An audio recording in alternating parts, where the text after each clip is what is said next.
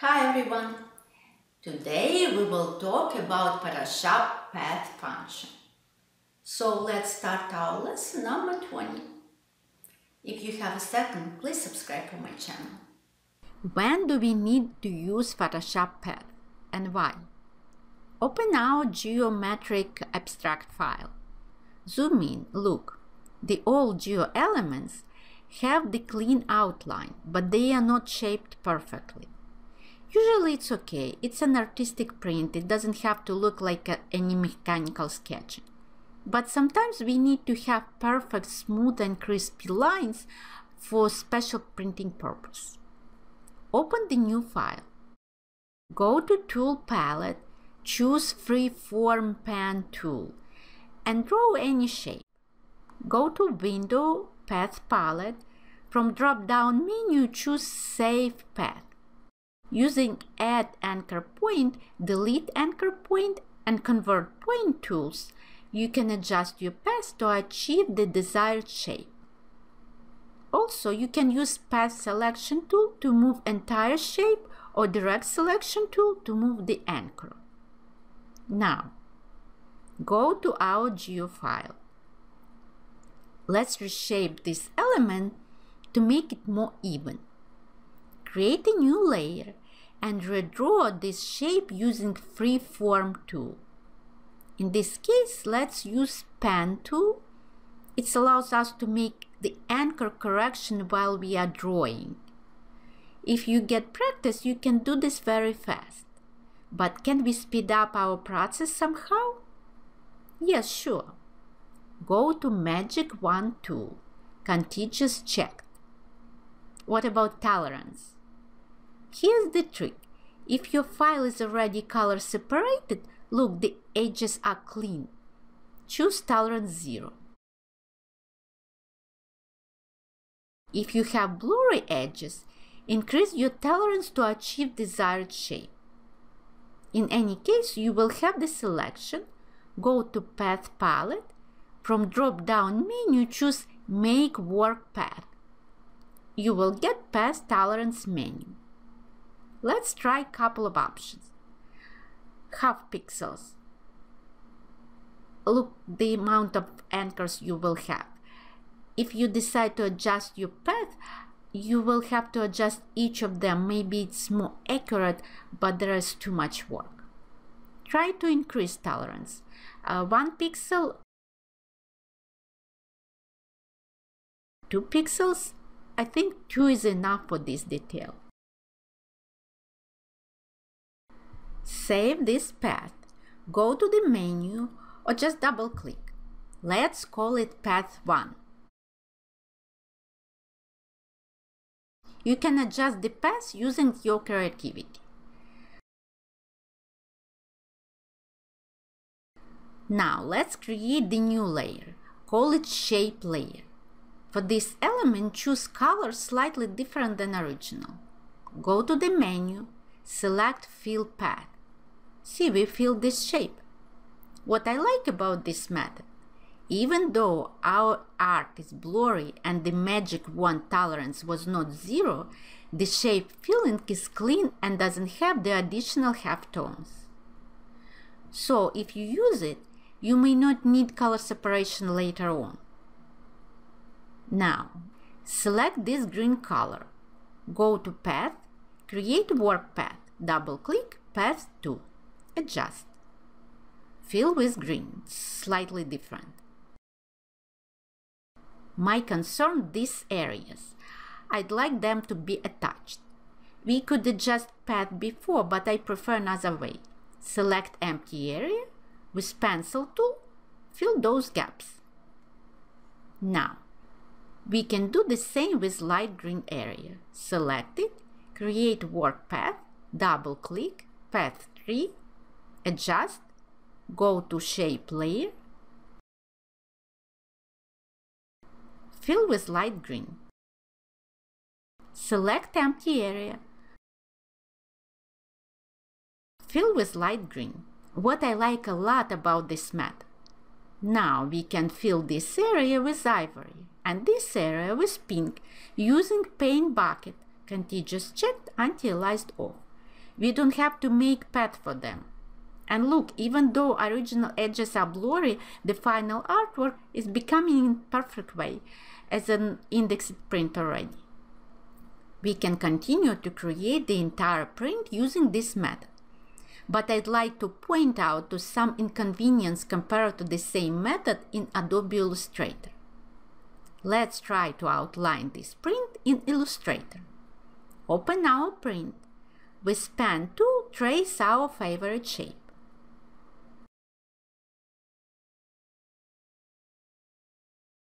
If we fill it out, we can still adjust it in any way we want.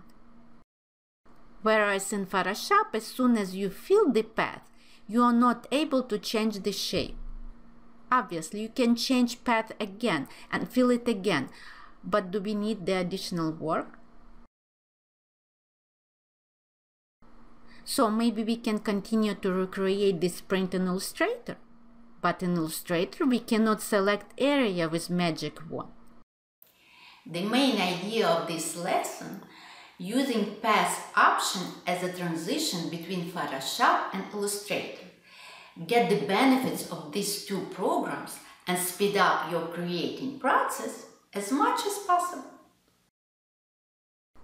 So go back to Photoshop. Let's go to clean layer it will help to understand this function better, but remember you can always use any blurry print. Select brown area. Choose contiguous unchecked. So we will select all brown elements.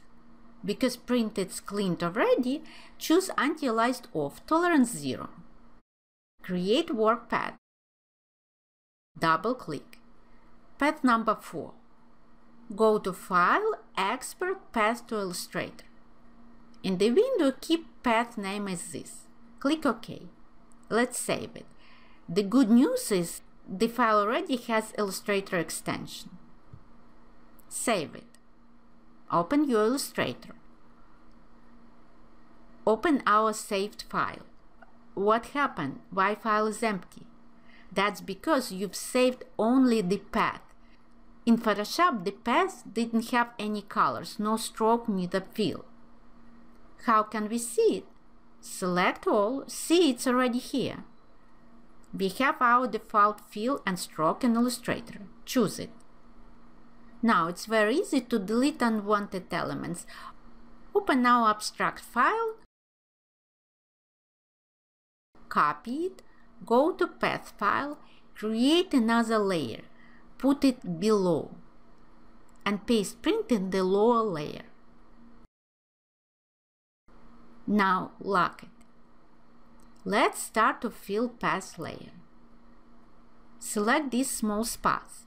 If you close path layer, you can see they are dark brown. With eyedropper, select dark brown, slightly different. See, they are filled. Now we remember all other areas are light brown. Select any element, go to select, same, fill and stroke. All our path area is selected. Find some light brown from the print layer, try to change a bit. See, we have all light brown area ready. As you see, it doesn't have outline because we choose the colors from the print which has no outline neither.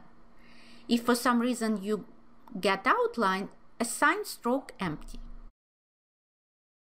Now you can adjust our shape in Illustrator, which is much better for adjusting geometric shapes. It has a lot of more appropriate tools than Photoshop. I like this one, Smooth tool. You can smooth our outline very fast, keeping feeling of it.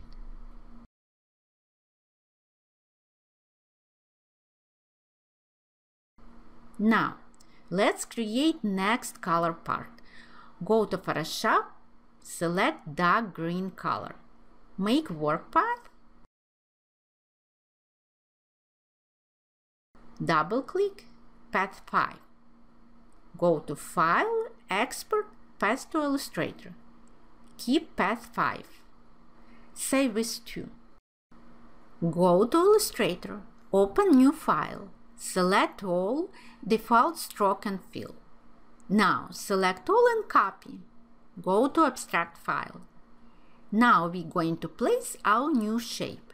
My suggestion, place every new shape below the previous one, but keep original as a background. So, go to Layers palette, lock the recent layer, create the new one underneath. Place our shape. Select all, as we remember it needs to be dark green from somewhere here. If you don't find green color, just make it up, empty stroke. Close background layer. Now we can adjust green shape. First delete unwanted parts. Now you can see why we put new shape below. You don't have to worry about this side. We've smoothed already the brown one. So just be sure it's behind. Doesn't matter if it's not perfect, even crooked.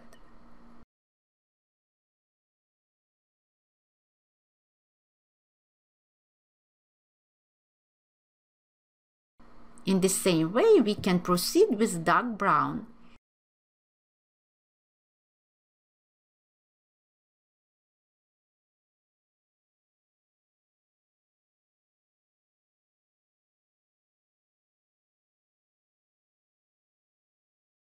Bright green,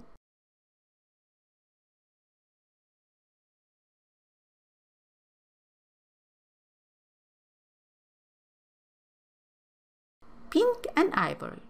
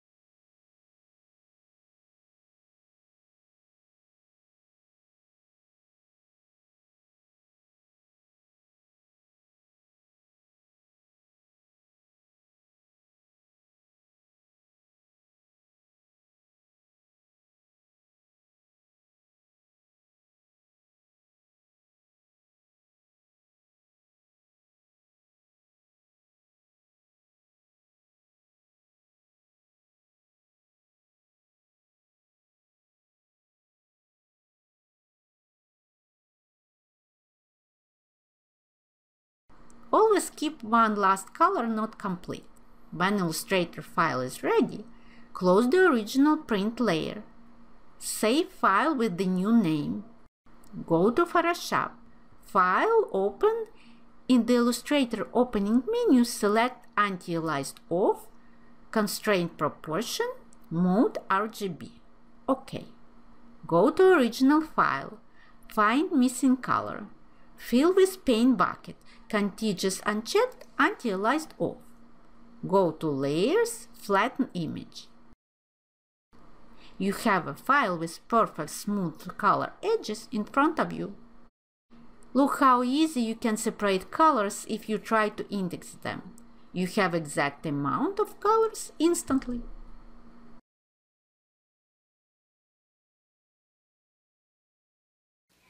So now you know how to use path function in Adobe Photoshop and make it helpful for transition between Photoshop and Illustrator to speed up your design process.